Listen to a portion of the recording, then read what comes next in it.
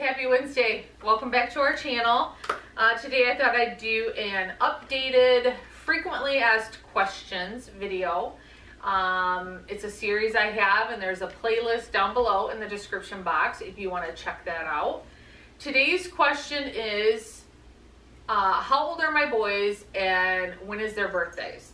I did a video about this just a little while back but we've since added Milo to our uh, pack and thought I'd do an updated video. Um, I'm going to go oldest to youngest um, when I go down this list. So, first we have Mozzie. Mozzie was born November 16th, 2011. He's seven years old. Max was born March 18th, 2012.